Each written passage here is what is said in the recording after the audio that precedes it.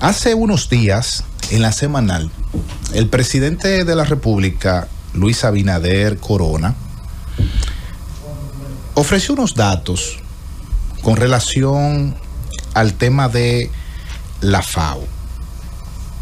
El presidente afirmó que este reconocimiento de la FAO de que la subalimentación se redujo en el país en un 55%, y que eh, pues eh, medio millón de familias fueron liberadas del hambre y que República Dominicana va rumbo a hambre cero.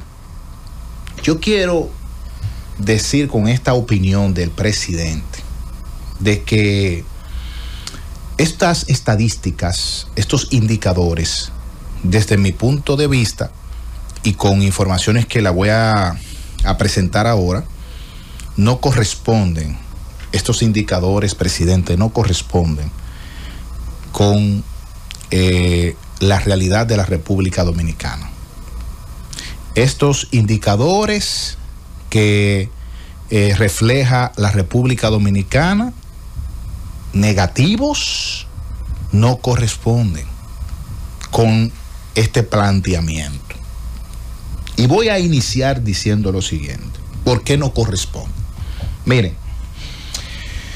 el Banco Central en agosto del año 2000, del 2020, a junio del, presente año 2024, dice que el costo de la canasta básica, eh, eh, básica nacional familiar aumentó 9.171 pesos, equivalente al 26.8% alcanzando la suma de 45.255 pesos.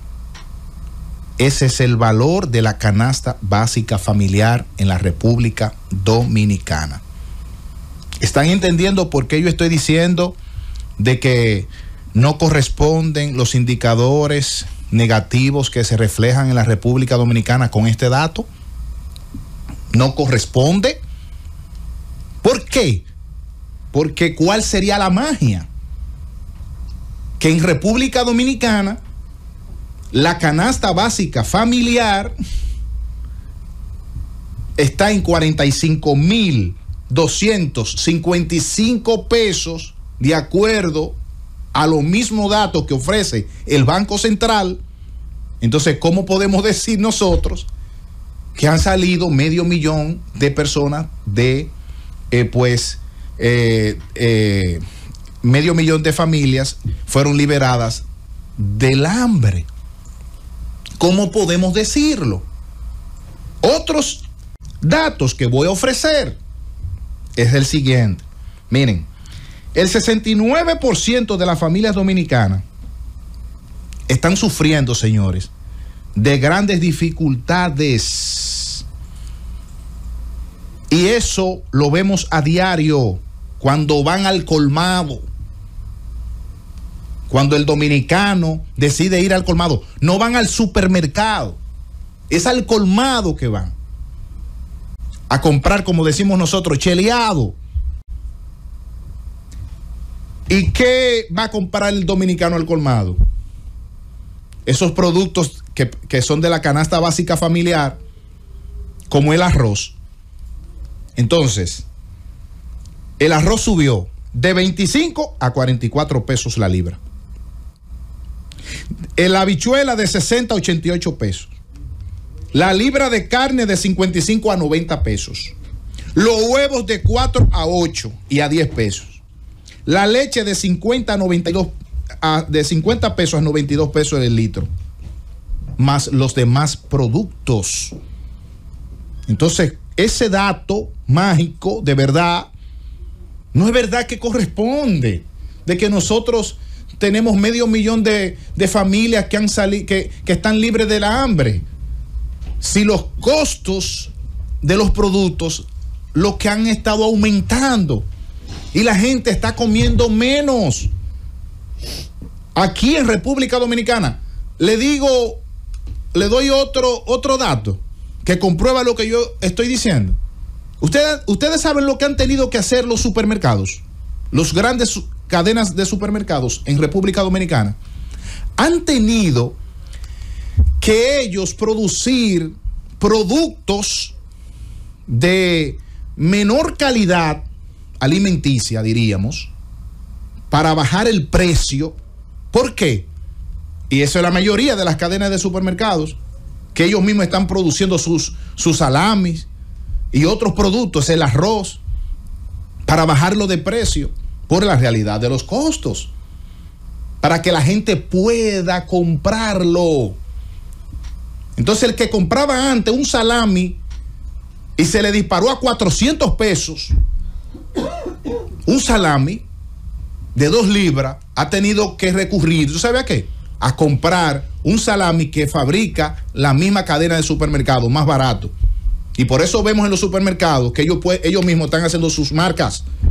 Entonces, ¿cómo, puede, cómo podemos nosotros decir que, que en República Dominicana la gente está pasando menos hambre? con estos indicadores negativos? Yo no lo creo. O sea, yo no lo creo. Porque nosotros aquí tenemos una realidad. Eso es sin mencionar, señores, el desastre que hay en el sector agropecuario. Porque hay un sector agropecuario. Y a mí me da pena, y lo voy a decir, que por presiones internas a veces de los partidos políticos, un presidente de la República tenga que tener a un funcionario en un ministerio que lo que ha hecho un lío en agricultura, que no, que no ha resuelto nada, que al contrario, aquí las políticas públicas agropecuarias han retrocedido por, por, acuerdos políticos. Por acuerdos políticos. Porque yo estoy seguro que el presidente de la República, si le ponen la decisión de cambiar a, su, a su ministro de Agricultura, lo cambiaría. Pero yo sé, yo sé por dónde viene eso. Porque todo, este país es pequeño y me dicen que, que supuestamente le van a dar un año más a ese señor que no ha hecho nada en agricultura. Y lo estoy diciendo yo responsablemente. Y el país completo lo sabe. Un desorden. Que me dicen supuestamente que pusieron a, Eligio como asesor agrícola para ver qué es lo que se va a hacer ahí. Y quizá el próximo año, le dan un año, lo ponen como ministro. ¿Por qué? Porque tenemos una realidad ¿Y cómo podemos ocultar esos datos? Mírenme, eh, bajó. ¿Ustedes creen que aquí se redujo el hambre? Yo le voy a dar este dato. En el 2023, la producción de arroz se, se redujo en 300 mil quintales con relación al año 2018 y 2019, que fueron de 600 mil. 300 mil quintales. Y ahora tenemos la amenaza de la producción nacional en la actualidad con la entrada del tratado RD-CAFTA. Eso en cinco o cuatro meses que nosotros tendremos esa situación, esa realidad. Y aprovecho para preguntar, ¿cuál es el plan que tiene el gobierno con relación a esta realidad que va a enfrentar la producción nacional con relación al arroz? Aquí no se está hablando de eso. Aquí no se está hablando de eso. Aquí estamos nosotros en Belén con los pastores. Mientras tanto, la República Dominicana está enfrentando una realidad. Yo dije aquí en un comentario que le estoy dando seguimiento al tema del pollo. El ministro de Agricultura dijo, y aquí todos lo leímos, que fue una noticia, eso es público, búsquenlo en Google, ponga la última parte de las últimas noticias del ministro de Agricultura que dijo en 12 días está resuelto el tema del pollo, porque aquí no hay aquí no hay justificación, aunque, aunque sabemos que es un tema del calor. Bueno, le voy a dar la información. Mañana se cumplen los 12 días. El pollo bajó, ministro. Entonces, ¿cómo con realidades como estas, que hay un alza en los productos de la canasta básica, podemos decir que se está reduciendo el hambre. No, no, no, no. Yo no sé quién le dio esos datos al presidente. Porque muchas veces, y le voy a hablar por experiencia que tengo también del Estado, muchas veces los técnicos, porque sabemos que un presidente no tiene que saber todo. Le pasan informaciones a los presidentes. Mire, esto es la realidad de lo que tenemos. Esa es, mire, esa es una información. Y muchas veces no es así. Por eso yo responsablemente digo que yo no creo en esos datos. Aquí hay una realidad con el tema de los productos. Una realidad que no sabemos cómo la vamos a enfrentar. Independientemente de que sabemos que eh, la producción ha pasado por ciertas eh, crisis, que muchas de ellas no dependen de nosotros, por factores externos. Sí, es cierto. Ah, tenemos también que admitir que hay otras cosas, pero mientras tanto el dominicano está comiendo menos y de menor calidad. Y no podemos ocultarlo eso. Esa celebración no es verdad. No podemos prender eh, eh, eh, las velas y partir el, el pastel, el bizcocho, ni poner globos con esos datos. Y voy a cerrar diciendo esto, que hablaba a propósito del arroz, ¿verdad? Las importaciones de este cereal entre los meses enero y abril ya superan las 45 mil toneladas. ¿Y la producción nacional para cuándo? No solamente es el precio, por eso voy a concluir, no solamente es el tema del precio, también es el tema de la garantía de nosotros proteger a la producción nacional.